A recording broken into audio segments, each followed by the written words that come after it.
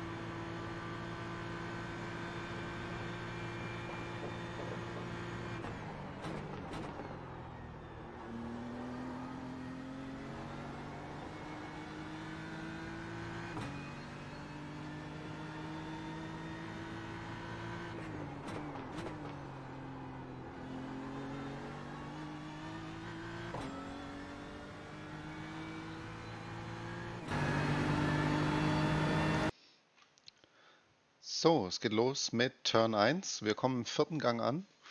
Äh, Bremspunkt ist zwischen dem 50 und dem 100 Meter Schild. Ich würde aber eher sagen, eher Richtung 50 Meter Schild, also so vielleicht 60, 65 Meter um den Dreh. Wir schalten in den zweiten Gang runter und wichtig ist, dass wir relativ früh einlenken, dass wir an den Körper rankommen. Also ihr seht es jetzt hier, ähm, ich, in dem Moment, wo ich einlenke, gehe ich eigentlich auch schon wieder von der Bremse runter, komme in diese Kuhle hier rein und fahre so nah wie möglich an diese weiße Linie dran. Ihr könnt auch den Körper ein bisschen schneiden, ist nicht so schlimm. Ihr solltet nur nicht hier komplett drüber fahren, da wird das Auto ein bisschen unruhig. Wichtig hier, dass ihr relativ verhältnismäßig früh bremst äh, und eigentlich, wie ihr es hier seht, vor dem Apex schon wieder auf dem Gas seid, um eben die Schwung auf die Gerade mitzunehmen. Also ihr seht hier, ich schneide den Körper ein bisschen an, das macht nichts. Man merkt zwar ein bisschen im Auto, aber ich kann trotzdem voll auf dem Gas bleiben hier und kann meine, meinen Gasvorgang einfach gut durchführen. Außen hier auf jeden Fall den Körb komplett mitnehmen. Wenn ihr den nicht mitnehmen müsst, dann wisst ihr, dass ihr nicht am Limit seid in Turn 1 und dass ihr auf jeden Fall noch mehr Schwung mitnehmen könnt. Also den Körper hier ruhig bis zum Ausgang nutzen. Ein bisschen aufpassen, wenn ihr merkt, ihr kommt zu schnell raus und ihr kommt hier aufs Gras, äh, die Lenkung aufmachen und vom Gas runtergehen, weil wenn ihr dann auf dem Gas bleibt, dann dreht ihr euch weg, sobald ihr das Gras berührt. Aber ihr könnt hier locker mit zwei Reiten aufs Grüne drauf, ist sogar ein Muss eigentlich, damit ihr wie gesagt den Schwung auf die Gerade mitnehmen könnt.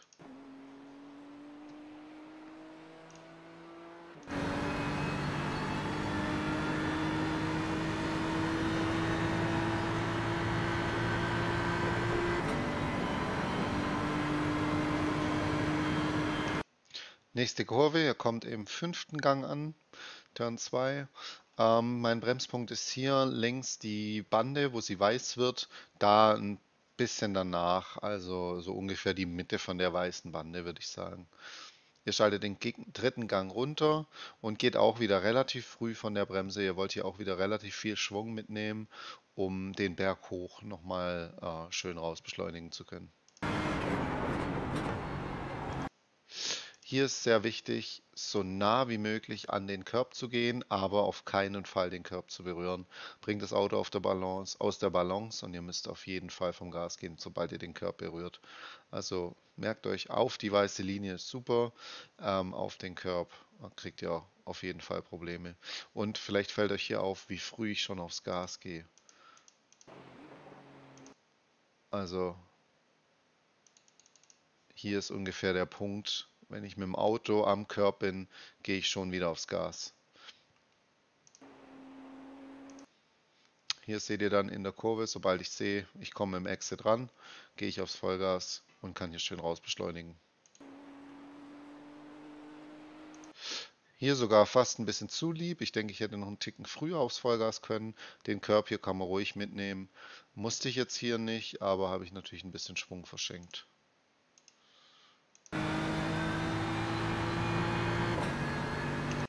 So, ich schalte hier dann den vierten hoch. Wichtig ist, dass ihr auf dem Berg hoch relativ spät schaltet, weil eben, wie gesagt, es geht einen Berg hoch. Wenn ihr da zu früh schaltet, verliert ihr auf jeden Fall ein paar Hundertstel. Ähm, Doppel links, sehr schwierige Kurve, sieht man immer wieder viele, die da abfliegen. Ähm, wir kommen im vierten Gang hier an und ich bleibe auf dem Vollgas, bis ich an diesem, an, an dieser Bande hier vorbei bin. Das macht, wenn man hier lang fährt, sieht man oder hat man das Gefühl, dass die so einen Knick macht. Und wenn ich an diesem Knick vorbeifahre, dann bremse ich. Also ihr seht, ich bremse und so wie ich bremse, stelle ich das Lenkrad gerade. Und das verhindert eben, dass das Auto ausbricht beim Anbremsen und ihr in der Wand landet. Man muss jetzt dazu sagen, dass das Setup hier, das Sprint-Setup von der Woche, sehr, sehr ähm, vorsichtig ist, sage ich mal. Also es verzeiht sehr viel, das ist sehr sicher. Dementsprechend natürlich auch langsam auf der Geraden, was euch nicht interessieren braucht, weil die anderen ja genauso langsam sind in, im Sprintrennen. Aber ähm, wenn ihr hier mit einem anderen Setup in der Open-Serie unterwegs seid und hier zu viel lenkt, während ihr bremst, seid ihr auf jeden Fall in der Wand drin. Und ihr merkt dann auch schon, ich gehe vom, von der Bremse runter und lasse einfach den Berg noch ein bisschen die Arbeit machen, ja, weil ich fahre ja immer noch den Berg hoch und lasse hier ganz kurz rollen, während ich voll am Einlenken bin, ähm, werde ich ja trotzdem noch langsamer, dadurch, dass es einfach am Berg hoch geht, damit ich dann einfach schön raus beschleunigen kann. Dann gehe ich aufs Vollgas. Hier ist so eine kleine Bodenwelle. Ich bin ein bisschen zu schnell, bin ein bisschen zu früh am Vollgas und ihr werdet gleich sehen, dass ich ausgangs ein bisschen Übersteuern bekomme. Das ist nicht optimal, kostet auch Zeit. Äh, das solltet ihr gucken, dass ihr das Auto ruhig haltet. Hier hat man es kurz gesehen, also war schon ordentlich übersteuern. Ähm, ich habe gut Schwung mitnehmen können, habe aber davon halt ein bisschen wieder was eingebüßt durch dieses Übersteuern. Also versucht er auch nicht ganz so weit nach rechts zu kommen, wie ich es jetzt hier bin. Ich war da ein bisschen übermotiviert am Ausgang, versucht es ein bisschen weiter links zu halten, weil hier kommt jetzt gleich eine Bodenwelle.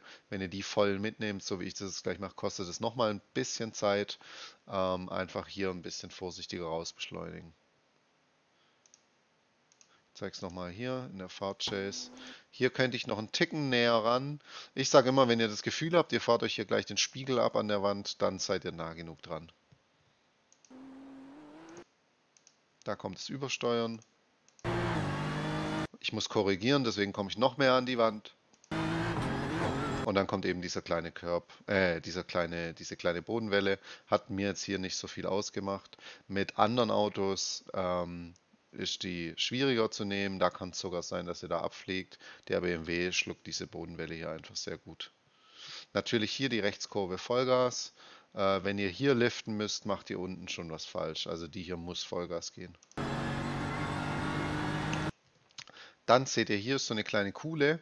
Da fahre ich immer rein mit dem Auto. Also ihr seht es vielleicht so besser. Wie ich hier ein bisschen reinfahre, macht einfach die nächste Kurve ein bisschen weiter auf. Die hier auch auf jeden Fall Vollgas. Ich bleibe im dritten Gang und schalte ungefähr am Apex, ein bisschen danach hoch in den vierten Gang, also wenn ich aus der Kurve rausfahre. Wenn ich eben merke, die Drehzahl ist hoch genug, wenn die roten Lampen angehen, schalte ich den vierten hoch. Hier auch ruhig den Curb außen mitnehmen, also ich gucke wirklich, wenn ich hier bin, gucke ich wirklich an den Curb hier. Mit dem Setup könnt ihr die Kurve hier aber ganz locker voll nehmen. Hier die Linkskurve natürlich auch wieder Vollgas im vierten Gang. Ähm, wichtig hier ist, dass ihr erstens mal natürlich nicht hier in die Wand fährt, sehe ich ab und zu, dass die Leute hier ein bisschen überambitioniert sind beim Ausholen und hier in die Wand reinfahren. Ähm, aber trotzdem gucken, dass ihr so weit wie möglich rechts kommt. Ich versuche immer so mit dem Reifen auf oder über die weiße Linie zu kommen, wie ihr es jetzt hier ganz gut sehen könnt. Ja, schon mit dem halben Auto. Aber es ist nicht so schlimm, wenn ihr hier ein bisschen weiter links bleibt, einfach ein bisschen Sicherheitsabstand, vor allem im Rennen. Ist ärgerlich, wenn man sich hier das Auto kaputt macht, nur weil man hier schön ausholen will. Und ich kann euch sagen, es geht hier sehr, sehr schnell, wenn ihr einmal rankommt, ist mit ziemlicher Sicherheit eure Lenkung rum. Hier bleibe ich im vierten Gang für die Kurve. Die geht mit dem Setup auch Vollgas. Müsst ihr ein bisschen üben, aber probiert es einfach mal aus. Es geht wirklich relativ locker. Und wenn ihr es einmal raus habt, schafft ihr es eigentlich immer wieder. Wichtig ist eben, dass ihr früh genug einlenkt, dass ihr an den Apex kommt. Genauso wichtig ist aber auch, dass ihr nicht zu früh einlenkt und nicht über den Apex kommt. Ihr müsst halt den Apex perfekt treffen. Ähm, dann geht die Vollgas.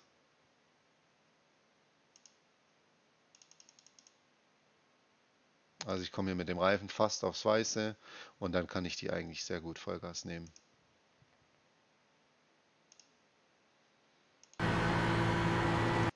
Hier kann man ruhig auch auf den Curb gehen. Wie gesagt, hier auch logischerweise wieder aufpassen, nicht an die Wand nach außen kommen. Habt ihr auch sehr schnell eine Meatball oder äh, ein bisschen Aero-Damage. So, dann schalte ich hier einen fünften Gang vor der Kurve, in fünften Gang schalten, das ist ganz wichtig, finde ich. Gibt noch mehr Traktion für die Kurve. Ich bleibe auch über die Kurve im fünften Gang. Äh, ihr seht hier schon, ist so ein kleiner Hügel, da geht es so eine Bodenwelle runter und ihr seht jetzt auch schon, ich bin auf Vollgas und lenke aber schon ein. Das hat den Grund, dass die Bodenwelle einen ein bisschen rausdrückt, weil ihr seid ja, ihr habt ja hier schon ähm, ihr kommt mit 220 an, da sind gewisse Fliehkräfte am Werk, die drücken euch in dem Sprung natürlich nach außen, weil das Auto leichter wird und ihr kurz weniger Traktion auf den Reifen habt. Deswegen früh einlenken und gucken, dass ihr hier, im Grunde sieht es aktuell hier so aus, als wäre ich zu weit innen und würde hier voll über den Curb semmeln, aber durch die Bodenwelle, die ich jetzt gleich mache, die mich ein bisschen nach außen versetzt, treffe ich dann den Apex relativ gut.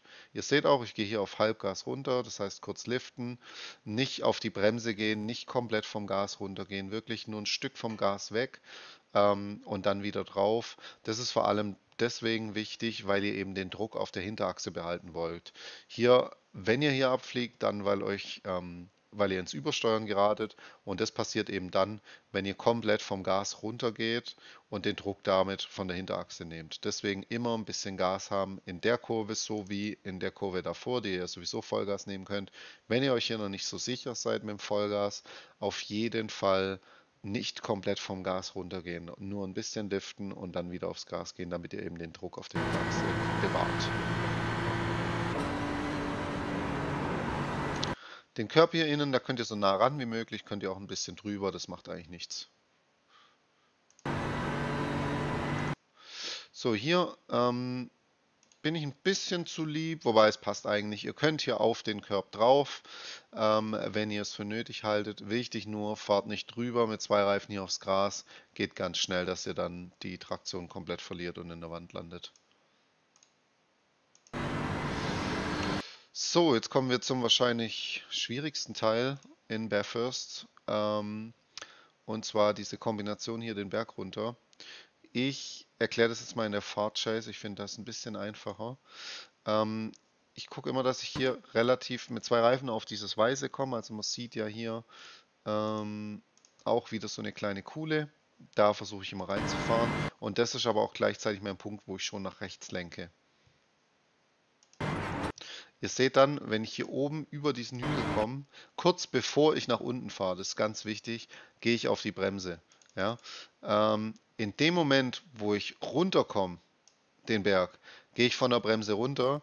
Genau das gleiche wie vorher. Das Auto wird hier leicht, der Schwerpunkt geht nach oben. Die, der Reifenkontakt ähm, zum Belag wird ein bisschen leichter. Wenn ihr hier noch voll auf der Bremse seid, kriegt der Reifen den, den Bremsdruck nicht mehr auf die Straße, weil das Auto in dem Moment einfach sehr leicht ist und ihr verliert die Traktion. Also deswegen, sobald ihr die Bodenwelle ähm, passiert, auf jeden Fall runter von der Bremse. Nicht komplett runter, aber schon ein ordentliches Stück. Also ihr seht, wie arg ich hier drauf bin.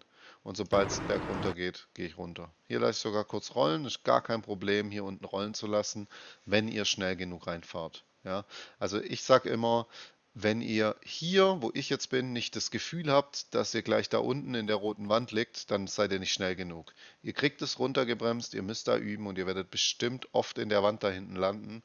Aber das muss sich hier einfach viel zu schnell anfühlen, um einfach schnell zu sein. Wenn ihr hier ähm, sicher und ruhig hier runterfahrt, verliert ihr auf jeden Fall Zeit.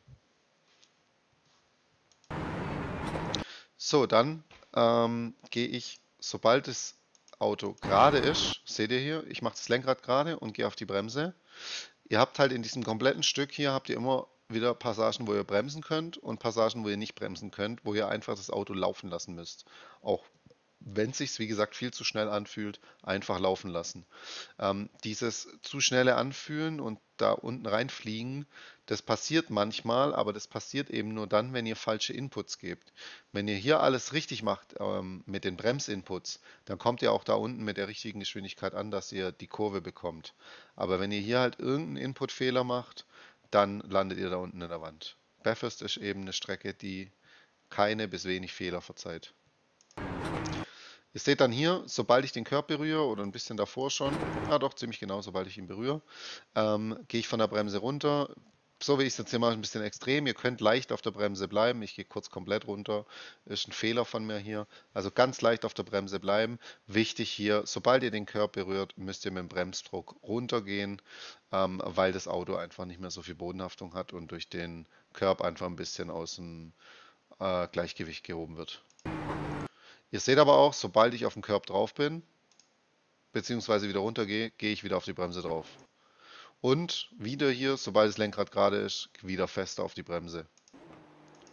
Und dann kriege ich auch hier unten, wenn ich beim Einlenken dann den Bremsdruck wieder verringere, kriege ich auch schön die Kurve hier unten. Wichtig hier, ich gucke immer, wenn ich hier bin, gucke ich schon hier hin, weil hier will ich hinfahren. Also ich ähm, versuche das Auto an diese Stelle hier mit dem Vorderrad auf diesen Körb zu bringen. Bisschen Luft gelassen, nicht optimal, aber ich denke, man kann es nehmen, ja. Dann gehe ich hier, wie ihr seht, kurz aufs Gas, weil ich sehe, ich bin innen, Auto macht, was ich will, ich muss nicht korrigieren, kann ich hier kurz aufs Gas gehen, um dann hier wieder auf die Bremse zu gehen und ganz arg wichtig, hier früh einlenken, damit ihr die Bodenwelle hier voll mitnehmt. Ihr seht, guck mal, wo ich einlenke. Wenn ihr das so sehen würdet, denkt ihr, ich fahre jetzt gleich in die Wand rein. Aber hier kommt eben diese Bodenwelle, wo ich gar keine Traktion habe für eine kurze Zeit. Wo ich aber schon voll aufs Gas gehen kann, weil ich weiß, sobald die Reifen auf, auf dem Asphalt wieder Druck haben, lenkt das Auto dahin, wo ich hin will. Dann kommt natürlich dadurch, dass es hier kurz so viel Druck hat, auf der Hinterachse wird es dann zu leicht, bis sich das Auto wieder leicht gesetzt hat. Aber ihr seht hier dieses minimale Übersteuern, das ich hier habe, wo ich hier eigentlich noch am Korrigieren bin. Hier nehme ich dann gleich, um einfach den Rechtsknick noch zu fahren. Und dann kommt er eigentlich gut rum. Also ich finde es immer schwierig, diesen Teil der Strecke gut zu erklären. Bathurst, vor allem dieser Teil hier, ist einfach ein Part, der viele, viele Runden Training braucht und viel, viel Blechschaden und viele, viele Male zurücksetzen erfordert, bis ihr den hier einigermaßen vernünftig drauf habt. Aber ich finde, gerade auf dieser Strecke, ähm, sie bestraft zwar Fehler sehr hart, aber sie belohnt eben auch richtiges Fahren sehr, sehr gut. Also ich finde das Gefühl einfach cool, wenn man hier im Rennen drei Autolängen äh, auf den Vordermann zufährt, weil der hier durchfährt wie eine Oma und man lässt ja einfach selber auch richtig durchfliegen, weil man sein Auto im Griff hat und die Limits kennt. Also nochmal für alle kurz im Schnelldurchlauf. Hart bremsen bis zum bis es einen Berg runter geht. Leicht die Bremse runterlassen. Ich lasse hier so kurz rollen, gar kein Problem, könnt ihr machen. Hier denken, ihr fliegt da unten gleich in die Wand rein, das schafft ihr niemals und sich dann aber auf die Inputs konzentrieren. Auto gerade, bremsen. Ich lenke, gehe auf den Körb, runter von der Bremse oder Bremse verringern, runter ist wie gesagt falsch. Auto gerade, wieder härter bremsen. Und dann hier durch Trial Braken, so wie ihr es eben braucht.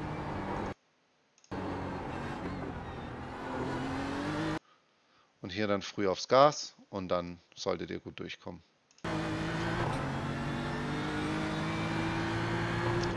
Ich bleibe hier im dritten und sobald ich in Begrenzer komme, gehe ich vom Gas runter und lasse einfach rollen. Ich gehe sogar hier noch ein bisschen aufs Gas, weil ich merke, ich bin nicht ganz am Limit. Wichtig hier, fahrt hier so nah an der Wand wie möglich ähm, und bleibt auch hier relativ weit rechts für den Anfang. Und in dem Moment, wo ich das hier sehe, gehe ich auf die Bremse. Seht hier, wenn ich hier nah dran bin, also fast mit dem Auto dran vorbeifahre, gehe ich auf die Bremse. Aber diesen Teil hier lasse ich rollen. Rollen komplett. Und jetzt bremsen, relativ hart bremsen, Auto gerade halten. Und jetzt seht ihr ja schon, ich bin eigentlich richtig positioniert. Ich muss eigentlich nicht mehr so viel machen, ja. Das Auto fährt schon in die Kurve rein. Und seht ihr auch hier, ich habe die Lenkung gerade und bin ziemlich hart auf der Bremse. Das ist sehr wichtig, diese Kurve hier, dass ihr hier eben langsam reinfahrt und schnell raus seid. Ich weiß, das kann man eigentlich bei jeder Kurve sagen, aber diese Faltenkurve hier, die belohnt dieses langsame Reinfahren und schnelle Rausfahren extrem, weil eben diese lange Gerade folgt. Ihr kommt im dritten Gang an, schaltet den zweiten. Ganz arg wichtig, nicht, niemals, unter keinen Umständen, außer ihr habt einen vor euch, aber und der ist extrem langsam, aber ihr schaltet hier niemals den ersten Gang. Ihr bleibt den zweiten bitte. Dann finde ich immer hier sind zwei so Kanten in der Wand. Ähm, es gibt hier auch zwei Arten, wie man die Kurve fahren kann. Die einen fahren hier ein Stück weiter außen. Ähm, die sind nicht ganz so weit innen wie ich zu dem Zeitpunkt hier und fahren quasi einen späteren Apex. Ich bin jemand, weil die Kurve nach innen abfällt, habe ich es lieber, dass ich direkt innen bin. So treffe ich einfach jedes Mal den Apex ähm, und bin einfach ein Stück konstanter und ich habe nicht das Gefühl, dass ich langsamer bin, weil ich eben am Eingang weniger Meter fahre. Der nimmt mir dann ausgangs vielleicht einen Ticken ab, äh, aber vor allem im Rennen, wenn der vor dir ist, ähm, hast du den auf der Geraden sowieso. Also ich habe es lieber so, dass ich den komplett eng fahre und mir hier beim ersten Mal, bei der ersten Kante schon fast den Spiegel abfahre, wie wenn ich den späten Apex nehme. Und ihr seht, achtet mal drauf, wie früh ich schon die, auf, aufs Gas gehe. Also ich gehe eigentlich schon aufs Gas, sobald die Bande innen höher wird. Guckt da mal, wann ihr da aufs Gas geht. Aber wichtig ist, dass es halt extrem früh ist. Also langsam reinfahren und extrem früh aufs Gas und rausfahren. Und das geht auch, weil ihr eben dieses Banking hier in der Kurve habt und früh rausbeschleunigen könnt und den Grip auch einfach habt. Wie gesagt, das Setup ist sehr lieblich. Ähm, mit anderen Autos und anderen Setups ist man hier sehr arg am Rudern in der Kurve. Aber mit dem Setup kann man hier wirklich komplett aufs Gas latschen. Ihr seht es auch hier, wie früh ich aufs Gas gehe. Es sieht nicht schön aus ähm, von 40 auf 100 Prozent, aber ich merke einfach, ich habe hier so viel Traktion, dass ich da einfach sofort aufs Gas gehen kann. Wichtig, am Kurvenausgang nicht ins Übersteuern geraten oder natürlich noch dümmer in die Wand fahren. Ähm, also da schon gucken, dass ihr zwar früh aufs Gas geht, aber dass ihr das Auto nicht am Ausgang überfahrt und dann nochmal irgendwie vom Gas runter müsst oder korrigieren müsst oder so. Also ganz arg wichtig hier, wenn ihr an diesem Punkt hier sagt, ich gehe aufs Gas, so, wo bin ich da? Ja, hier.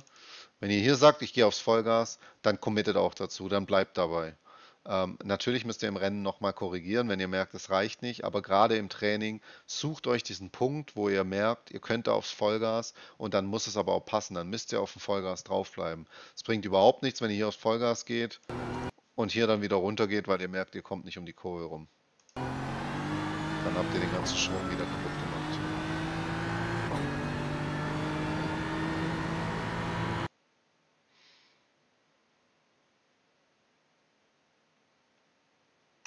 So, ihr kommt hier im fünften Gang an. Ich schalte gar nicht den sechsten hier. Äh, ich komme nicht in Begrenzer, sehe da keine Notwendigkeit, einen sechsten zu schalten. Was ich hier mache, ist, ich fahre ein bisschen nach links raus mit dem halben Auto, um den Rechtsknick einfach ein bisschen besser zu bekommen und dann gleich ganz rechts zu sein. Ich mache einfach die Kurve ein bisschen weiter auf. So, hier Bremspunkt. Ähm, Ihr habt zwei Möglichkeiten. Ihr habt einmal die Schilder an der Seite und ihr habt hier diesen Dreck auf der Strecke. Ich sage das deswegen mit diesen zwei Möglichkeiten, weil wenn ihr einen 02 vor euch habt, dann könnt ihr den Dreck auf der Strecke vergessen. Dann seht ihr ihn dann, wenn ihr ihm ins Heck fahrt. Ähm, Deswegen orientiert euch eher an den Schildern. Ja, ich sage immer, da wo dieser Dreck anfängt, also so zwischen 100 und 150 Meter, äh, da bremsen. Wenn ihr einen 02 vor euch habt, dann habt ihr eh nur zwei Möglichkeiten. Entweder ihr geht nach dem 150 Meter Schild schon aufs, auf die Bremse, weil er natürlich auch vor euch bremsen muss und wenn ihr dann euren normalen Bremspunkt wählt, hängt ihr mit dem Heck. Oder die zweite Möglichkeit ist halt reinbremsen. Aber in beiden Situationen könnt ihr diesen Dreck auf der Strecke vergessen. Sonst, so wie hier jetzt, finde ich es ganz hilfreich, sobald ihr da dran seid, das heißt kurz vorm 100 Meter Schild, vom fünften Gang in dritten und hart auf die Bremse.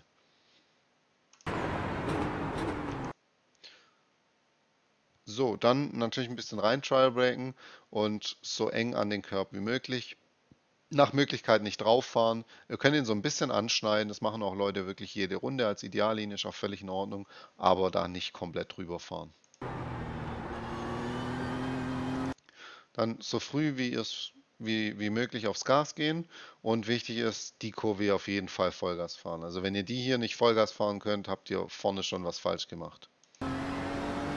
Wichtig vielleicht auch hier, ähm, nicht nach Möglichkeit auf diesen Curb. Der Curb hat aus irgendeinem Grund ganz viele Bodenwellen. Da kann es schnell passieren, dass das Auto aus der Balance kommt und ihr irgendwo hinfliegt. Deswegen, wenn es geht, nicht auf diesen Curb fahren.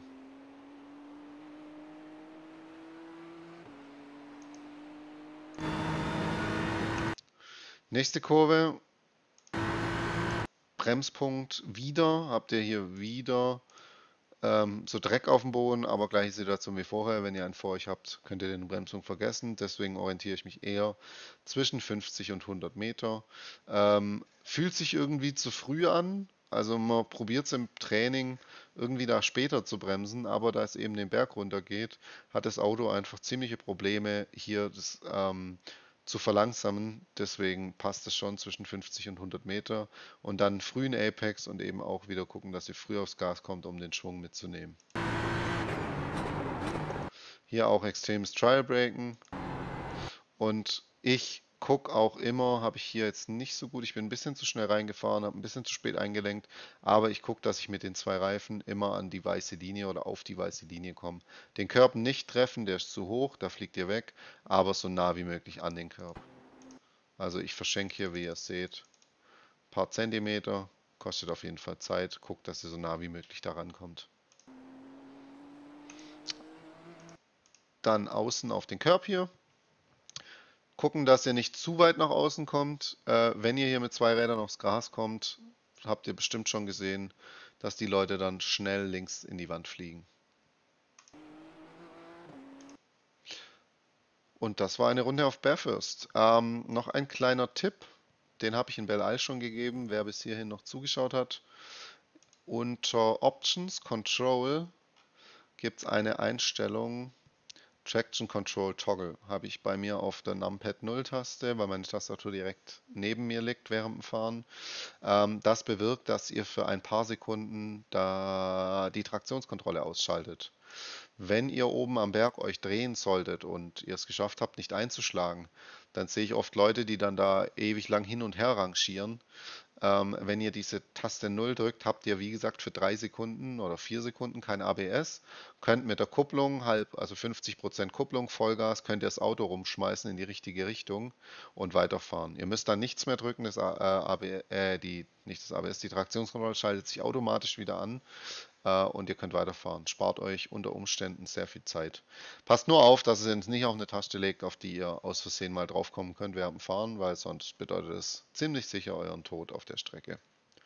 Und ansonsten wünsche ich allen ganz viel Glück beim 12-Stunden-Rennen, so werden es mitfahren und dem Rest natürlich auch viel Glück und viel Spaß in der heutigen Woche. Wir hoffen, dir hat das Video gefallen. Wenn ja, dann teile es gerne, like es, lass auch gerne einen Kommentar da und wir freuen uns, dich beim nächsten Video wieder begrüßen zu dürfen. Bis dann.